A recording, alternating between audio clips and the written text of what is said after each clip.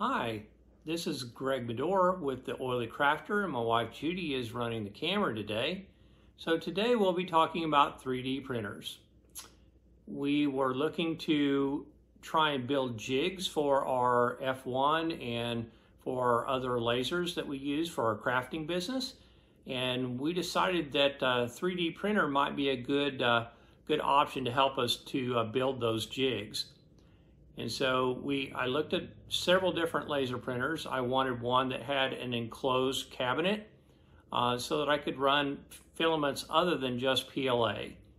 And in order to do that, you have to have a closed cabinet.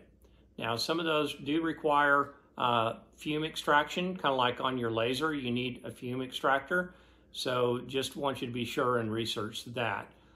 Uh, I looked at several different models and I finally came down to two, the Bambu Lab X1 Carbon and the Creality uh, K1 Max. And I compared those and the K1 Max does have a larger build volume inside, but there were several, after watching several hours of videos on YouTube, um, I came to the determination we wanted to buy a Bambu Lab uh, X1 Carbon. So we had some uh, friends that uh, had one of those and we got a referral code from them to help support them. Uh, so what we're going to do today is we're going to, I'm going to unbox the unit and tell you, uh, show you kind of what the pieces and components of what we got. We did buy the combo kit and then we bought some additional parts that are uh, additional filament and some additional parts that we thought might be useful for us. Uh, so the things that come with the combo kit that we ordered are the Bambu Lab X1 Carbon, the AMS, which is the automated material system. There's a build plate, um, and it's a random uh, compatible with the micro LiDAR. There's Bambu filament supplies, random color and type, contains three spools. Then you have a build plate, a hot end with a hardened steel nozzle, 0.4 millimeters, Bambu bus cable 4 pin, Bambu bus cable 6 pin, filament cutter, retaining clip, and hot end screws, a couple of hex keys, a 1.5 and a 2.0, lubricant grease, Bambu scraper, spool holder, spare screws for the extruder, unclogged tool for the nozzle, uh, some thermal grease, nozzle wiper, and some uh, double-sided tape to help hold things together. So with that, uh, let's uh, get started on uh, pulling material out of the box and we'll see, uh, we'll go from there. So I already cut the tape here so I wouldn't be fumbling with the tape while we're, while we're filming on the video here. As you can see, They've got a lot of packaging around this around this unit here. We've got styrofoam to help it. We did have a little bit of damage on the box, but I'm hoping, based upon the packing material, I'm hoping that that won't have affected our 3D printer in any way. As I recall, this is rather heavy and large, so we may have to uh, stop the camera here and uh, have my wife help me get this out of the uh, box here. So what we decided to do was probably safest to lay it down on its side to pull it out of the box. So we managed to get it out of the box and I got it up here on the table.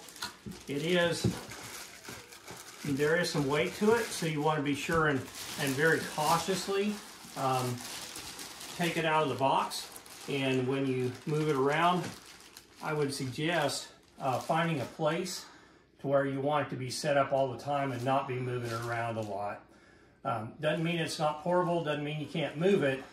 I would just suggest that uh, we ordered some anti-vibration feet uh, to help with the vibration of the printer because uh, as some people have pointed out, vibration in the actual printer, if it's not on a stable surface, um, it can actually cause the uh, first layer of the print to fail. And so, um, so you want to do everything you can to make sure it's on a good solid surface and you've got some anti-vibration feet. So I'm going to pull this plastic off and we'll come back to it. All right, so we've got the plastic cover off of there.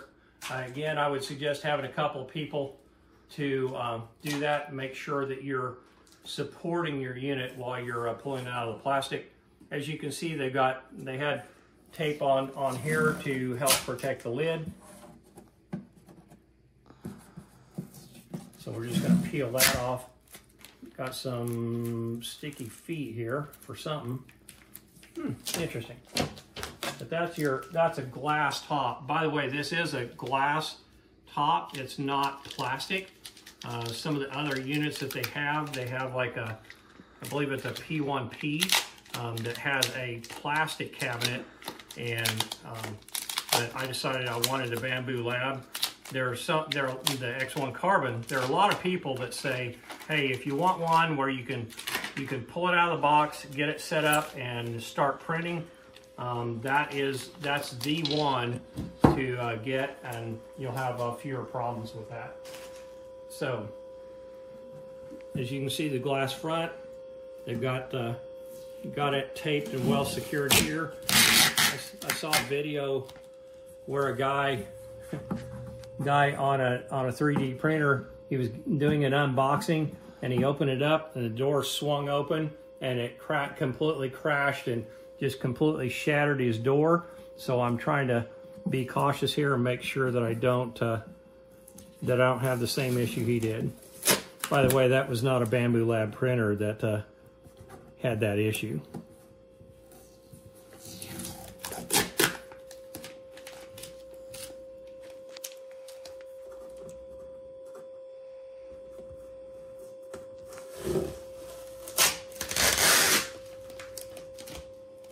Well, determined they're going to make sure that this does not, uh, that that door is well protected.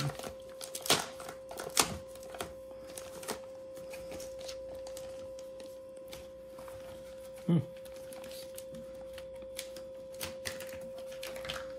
As you can see, that's that's uh, got that glass door well protected. Make sure it doesn't have uh, cracks, scratches, etc. So I'm going to take this lid off now and we're going to pull the AMS system out of there. Again, it got a lot of really good packaging, making sure that nothing inside here uh, shifts while it's in shipment.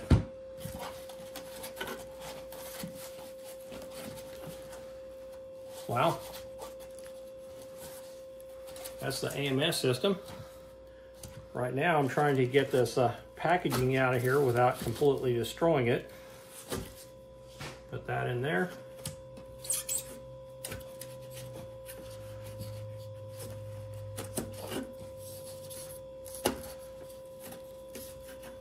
And then this is the AMS system. And they call it AMS system because the actual spools from Bambu Lab, they actually have an RFID tag on them. Oh, it's hooked into the down here, so I can't, I've got to find the, the wrench. There's a, there's a hex screw right here and right here that holds this AMS system in, so it's not going anywhere. So, so in the manual, it definitely, in the quick start guide there that was taped to the top of the lid here, it does say that you're supposed to take these screws out. Um, we're using that uh, hex wrench that was uh, included in the unit.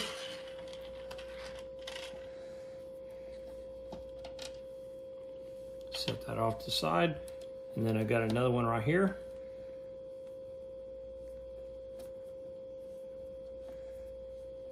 And it's the longer of the two yeah. hex deals. Yeah, I think one's a 1.5 millimeter, and I think the other one is is a two millimeter. So, so the one he used was this long one here compared to the little one there. Yeah. All right, so now we're ready to lift this out. So this is the automated material system. Basically, it sits up on top. The spools actually have an RFID chip in the in the actual spool itself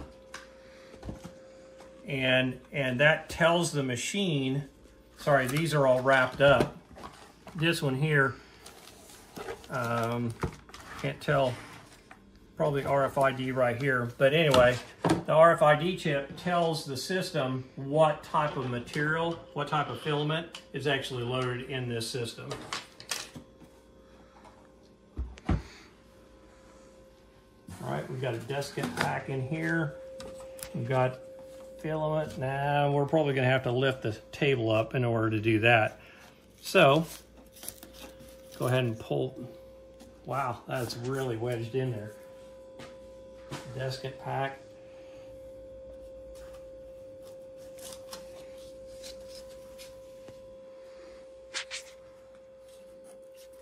And I'll have cardboard here. I'll have to figure out how to. So they've got it.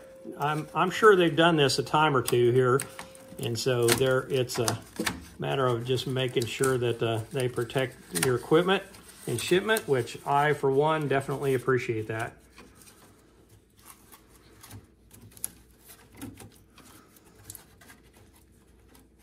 And they've got it in there so good, it's not being very cooperative. I just moved the gantry out and uh, Okay. made it a little bit easier to All move right. that. This, yeah, that's not going anywhere. So I'm going to have to take these additional screws out down there. All right, they're right here.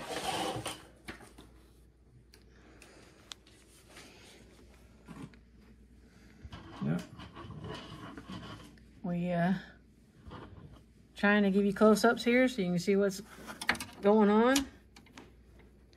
That's not the right one. So apparently this is going to be the smaller of the two Yep. tools that he's going to have to use. See if that one works.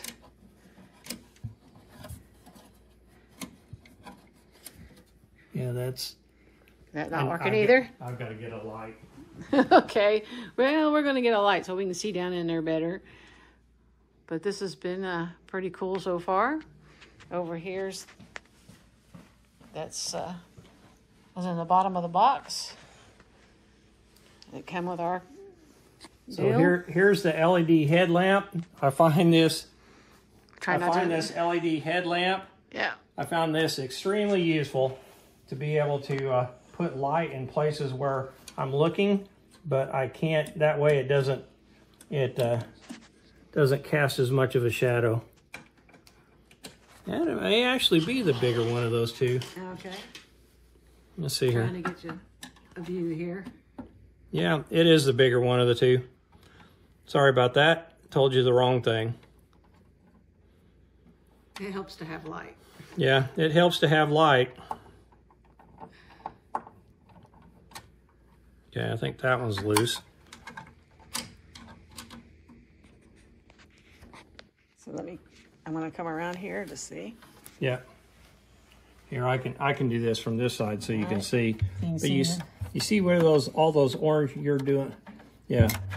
You see where all the orange arrows are pointing. That lets you know the screws that you need to remove. That's cool. So they've made it about as simple as they can there. And we've got uh, two more on this side.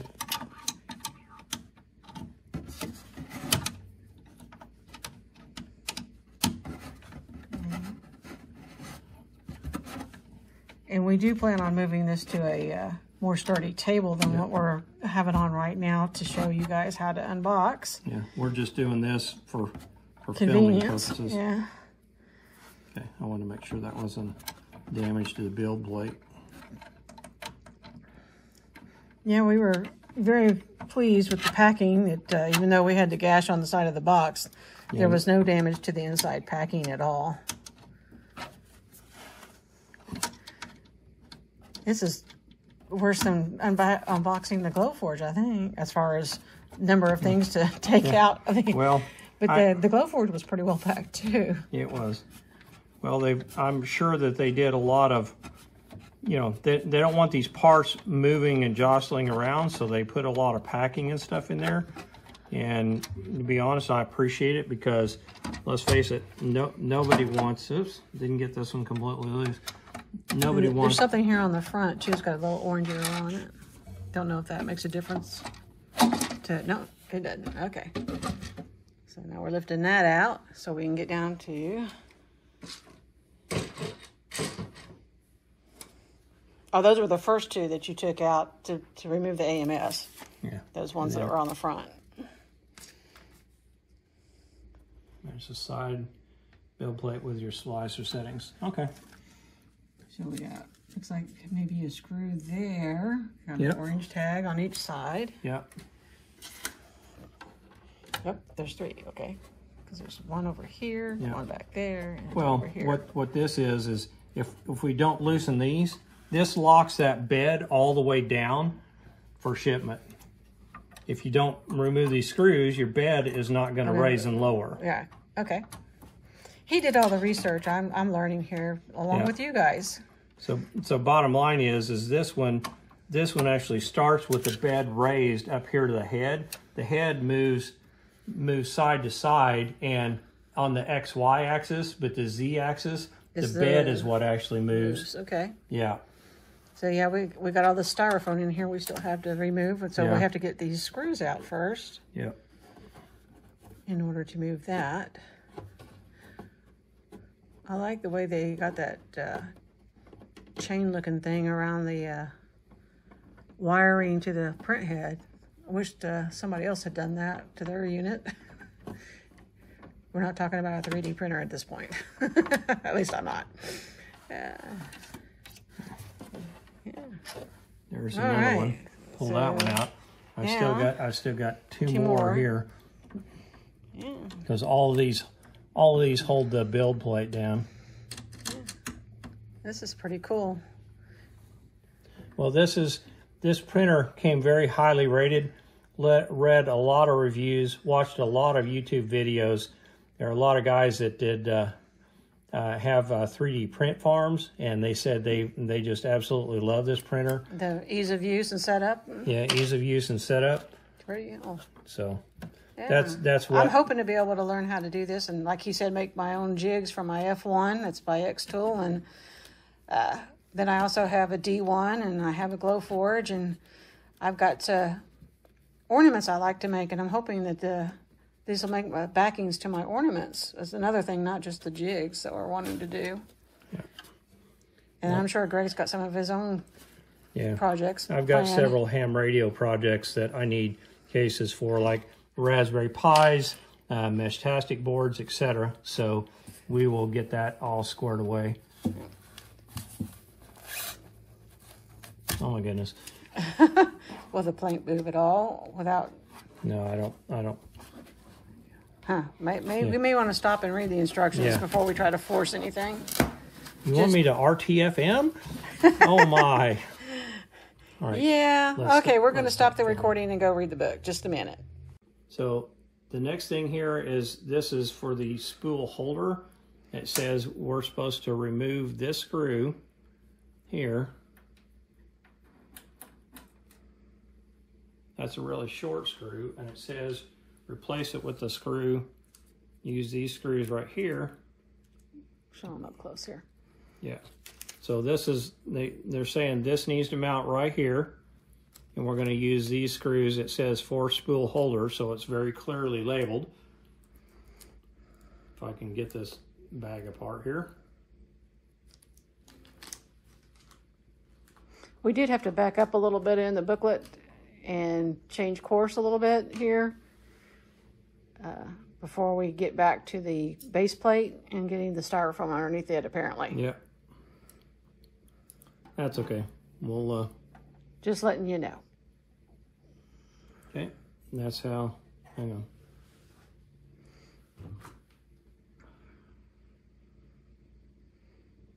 I think I've actually got that on upside down. Okay. although I'm not sure how much it matters, but it doesn't really say this side up. So, oh, there's top. It does say top. Okay. That's what I get for not reading.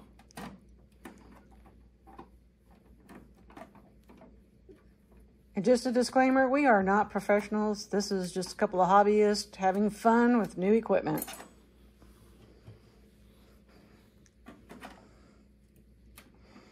So hopefully you enjoy our content for our fumbles and our learning process and that uh, it can be done. So let's see here. Yeah, he's using the long wrench again. What is that called again? It's not a hex wrench. he- hex, hex wrench. Okay. And we're going to put it through there. I was trying to do it from the side, and Yeah. it was not a- quite straight on. Yeah, Yeah. it was a weird angle. Okay, there's that. Okay. All right, remove the three hex screws with the Allen key H2 to unlock the hotbed. Okay, we did that. So I did that. Then it says, then insert the FPC into the port, which the FPC is that, is this thing right here. This is That the, goes on the front. this is the main control unit. Yeah. I believe it goes on over here. Yeah.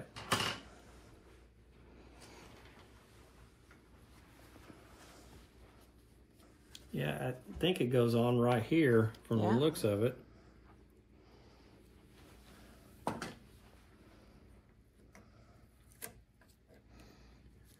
So I'm guessing. Let's see here. Carefully pull that off there. I do not want to crimp that cable there. And then it says, insert the FPC into the port by pressing the terminal as pictured. And then you can see we're talking right in here. And right up here, it shows the cable plugging into the back of the unit.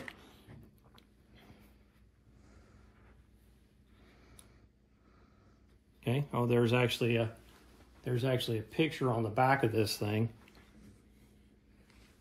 here where it tells you different steps there.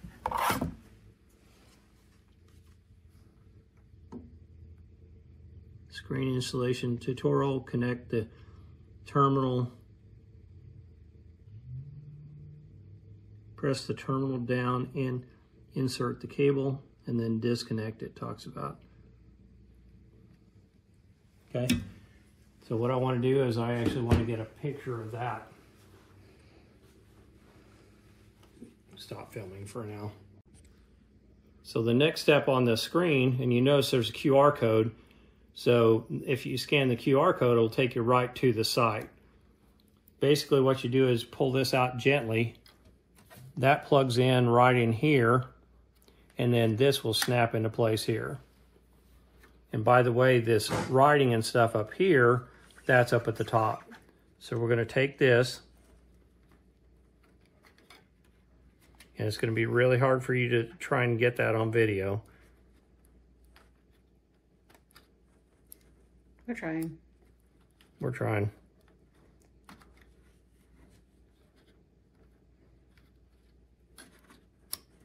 There we go. Yeah, snap. Yep, it snapped in place. You probably heard it. Yep. And then we put these in there and then slide it like, and you heard it click in. And then this tilts up, tilts down. Cool. For now, I'm going to leave the protective film on that uh, glass and we'll go from there. Okay, so we move the printer up in place. Had to move some things around because that AMS unit is going to sit here on top. That's okay. So we're at the step where I have the uh, Bambu Handy app. Uh, the app on my phone is downloaded, and it says connect the printer to power, which we've done. And then we're going to hit English right here on next. Select the region where you're located, North America. Next. And then this is where it wants to uh, pick the, uh, uh, do the Wi-Fi. So Okay. I'm not going to show you the screen while we're doing the Wi-Fi stuff. yeah, that's correct. All right, so connect printer power, use the Bambu app, and then under devices, it says bind printer. And I'm typing in the, I've already signed up for an account here.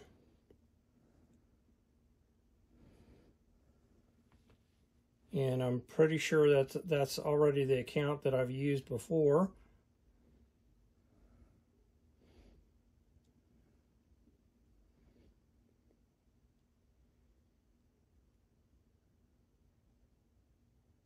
Going to say I agree to terms. Hit sign in. Okay, bound to the device, so I need to get the verification code. And I've got two-factor authentication turned on.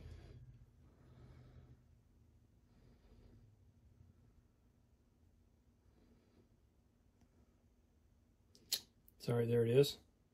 Gonna wait for it to change.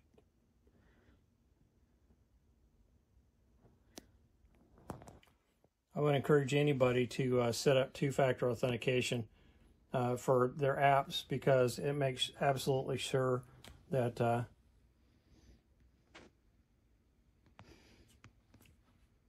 Try not to shine them directly into Yep. the light either, but kind of keep it moving while we're trying to get the Wi-Fi Okay. stuff set up.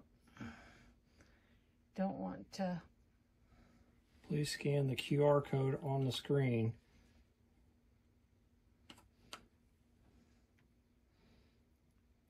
Okay, We're looking for the QR code. It didn't come up. it did not. Okay, I'm going to stop the video. Yep. So I did have to put in the 2.4 gigahertz uh, Wi-Fi, the SSID, and the passcode. Once I did that, I got to this screen here where I've got a QR code on the screen. So I scan it inside that, that Bambu app on the device. It came up and we're going to say confirm to bind here. Okay, so now it has our oily krafter on there and it shows the device here on the screen. No printers in progress, but it it show it, it has successfully connected the device. So now we're ready to go on to the next phase, which is uh, we'll do some uh, initial calibration here to follow the and follow the on-screen instructions. So they've got a terms and conditions here. They want you to agree to kindly request improve everyone's printing. Just hit join. So here's the calibration. Current environment. Please ensure that the heat bed is unlocked before starting the calibration. And we went through and we took out that screw, we, that screw, and this screw. All right, I think we are good to go. See, it even shows you here on the screen the screws that it wants you to make sure you've removed. We removed all those, so we're going to hit next. This may take several minutes. Calibrate.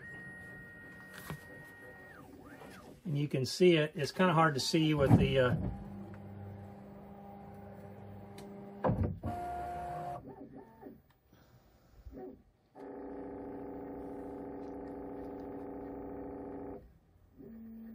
this is going to take a few minutes, It's so gonna- we're going to stop recording at this time. I'm not going to bore you with all that. and you can see that it's raising the, the bed oh, up there here. you can. There it is. Yeah. Alrighty. Okay. We won't See you in a few yeah. minutes. All right, so what we're doing now is we're going to set up the AMS unit. And it has a four pin connector here. Sorry. One of these goes into the back of the back of the 3D printer and the other goes into the basically this is the the feed that feeds a filament into the unit. So we're going to plug that in and then this is a six pin connector. Oops, sorry. And this six pin connector if we look at the diagram, it plugs in the in, and then there's two ports up here on the top. You can plug it into, it shows you can plug it into either one is what it says. So that's what we're doing next. Okay, so what I can tell you is we did a calibration earlier, and I had not connected the AMS unit to the printer. In order to connect the AMS unit, you have to turn the printer off.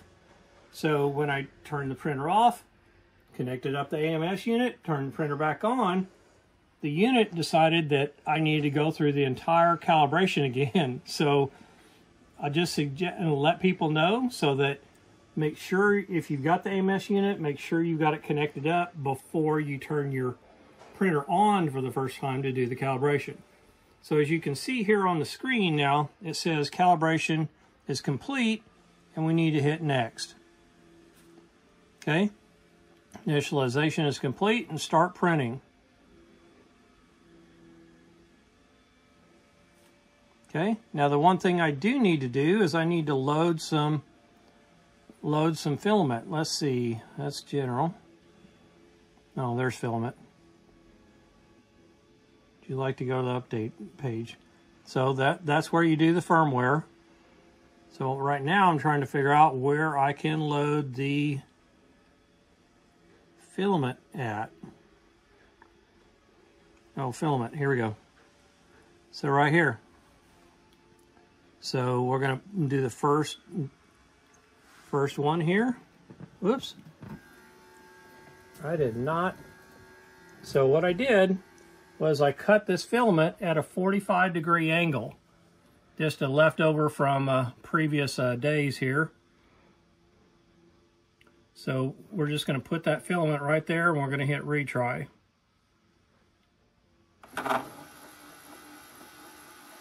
There you go.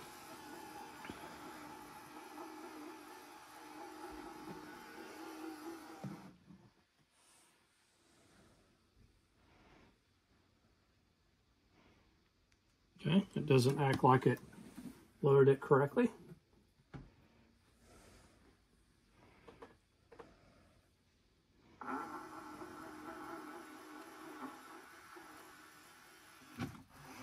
There we go. Ah, there we go. Had to push it a little further down in there. Yep, that's it exactly. And as you can see right here, just trying to load the filament. I see the filament coming through the tube back here.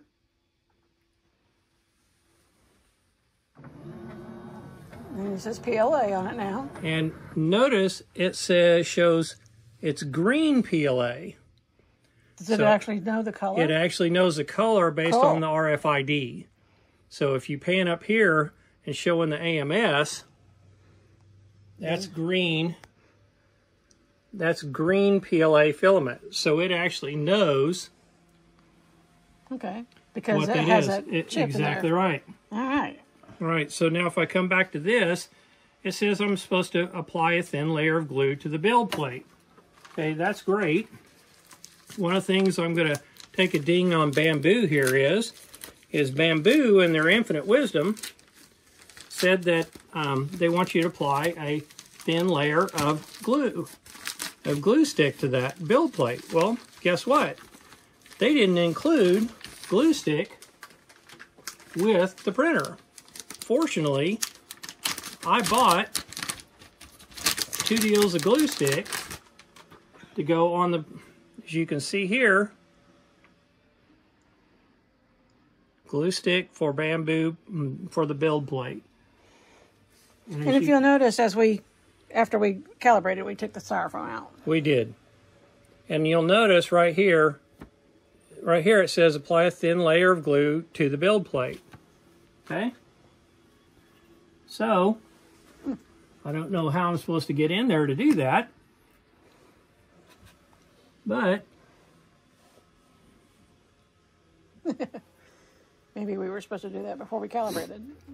I don't think so. Okay. That's not what it shows on the step there. Ah, okay.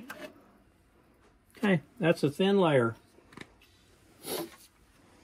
Okay, now we're gonna close that. It says press that folder butt icon right there. And then we're gonna do the benchy. The little boat. Yeah, and we're using green B, uh, PLA, use AMS, bed leveling, flow calibration, time lapse, and we're gonna say print now.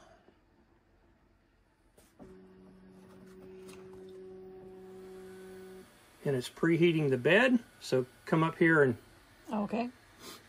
There we go. yeah, notice how it's already, you can see right in here, the temperature, that's the bed temperature right there. Ah. So I wonder how long it takes it to get to temperature. Well, I don't know. We'll find out. That says is at 75 C, and then we've got another. We've got another one there. Heat bed preheating, clean nozzle tip, auto bed leveling, calibration, extrusion. So there you go. Now the other thing that we really like about this particular printer is, is it has an app on the smartphone that will let you, if you have PLA already loaded, you could be you could be out running errands and somebody calls you or you get an order from a web page let's say you've already got the design in the printer you can from your app tell it to immediately start printing So Nice. So it hasn't. yeah, it, it hasn't started printing anything yet. It's it's trying to get all these temperatures up to the up to the right temperature at this point. Okay. I was going to say the middle one seems to be moving quite nicely Yeah, up. th- this one here, and I'm not sure what those different icons, what those are for. Again, this is brand new to us on this particular model, but I'm sure they have different temperatures for different positions. Oh. It's moving.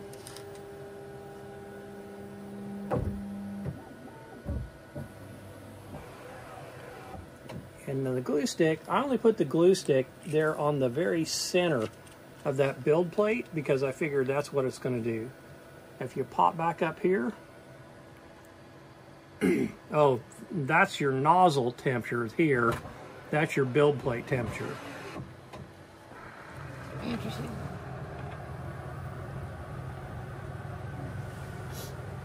So there you go, it's running filament out there.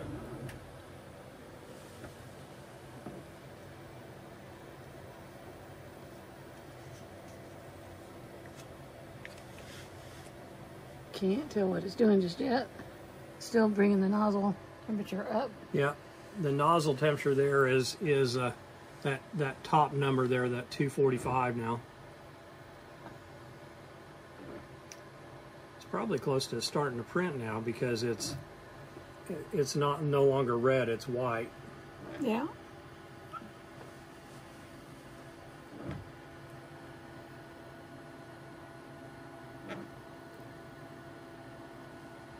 See if I can zoom in on that a little bit.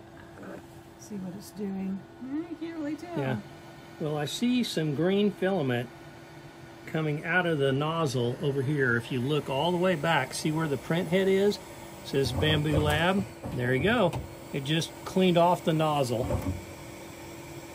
So here in a minute, I expect it to come out here to the center and start printing. There it's moving the head into The bed bed into position. Yeah. Oh, this is cool. There it's cleaning, it was, maybe that was cleaning the nozzle there. Never watched one of these print before. Sorry if it seems a little shaky. I'm holding it by hand.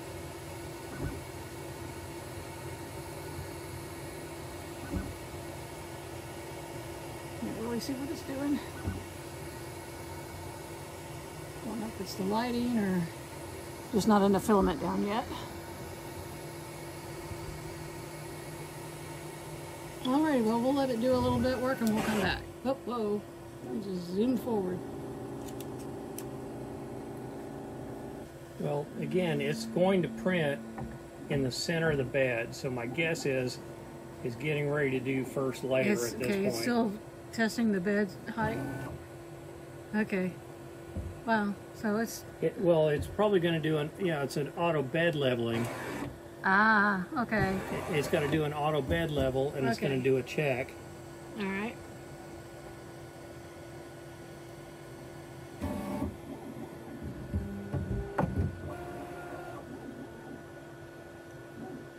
Hmm. Didn't think about it. Go through all this while we were trying to get it started. Like I said, never played with one of these before, so this is all new to us.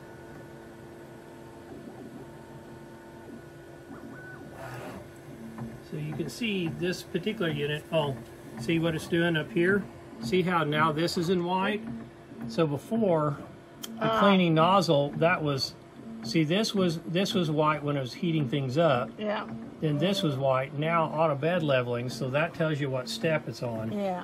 All right. And then it'll calibrate extrusion, and Yeah. then after it does that, it'll actually print it. okay. And all of those steps is going to help to ensure that you don't. It helps to ensure you don't have a print failure. Okay. Which, if you have a print failure, obviously, you've wasted filament and you wasted time trying to get your product printed. All righty. That's it's doing bed leveling. Yeah. It pulses each location like three times. Yeah.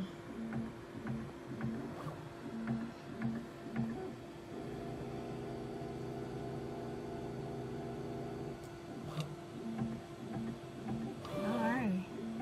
So each row on this bed, it does six different points on the bed, and it does it three times at each point to make sure that the bed is actually level. Okay. Wow. Yeah, I see what it's doing now. Okay. And it does four or five of those on each half of the bed, so it does at least eight of those across that bed. I didn't count them a while ago.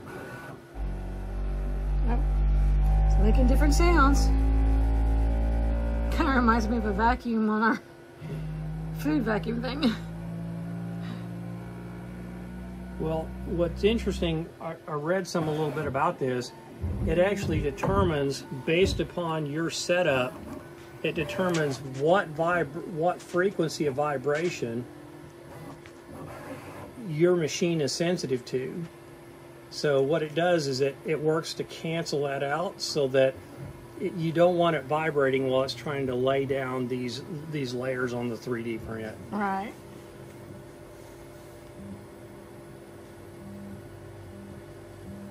Okay, I think it's actually laying down stuff now. See the green across the front? That wasn't there a while ago. You're right, it was not.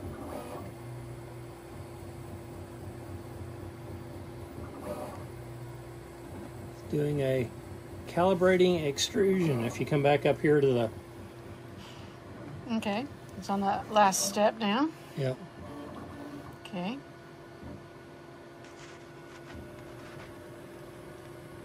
Wow. this machine is a lot more sophisticated than some of the other machines. I'm trying to block some of the reflection in the glass. Sorry, guys. I hope I, I'm doing that well for you. Because I noticed there's a lot of reflection from our stuff behind me.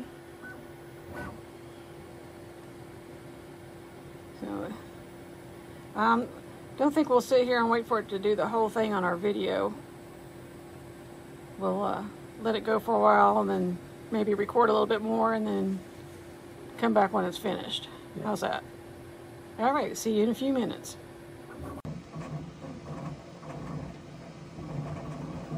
There's noticeable vibration in the table that that uh, 3D printer is sitting on. So we did have we do have some anti-vibration feet that we will probably get and uh, we'll get those put on there and hopefully that will help with that. Okay, so the print has been finished. Let it cool down. I started pulling this up and realized I need to video this. Just using, this is just like a cake decoration uh, spatula here. And all I did was get that underneath that filament and that filament pulled right up off of that build plate. We might mention it's been like an hour since we finished because we had to go pick up our dogs from doggy daycare. Yeah. So this thing is completely cooled down. Yeah, so you can see if you, if I don't know if you can see that or not, All right, we're good. but um,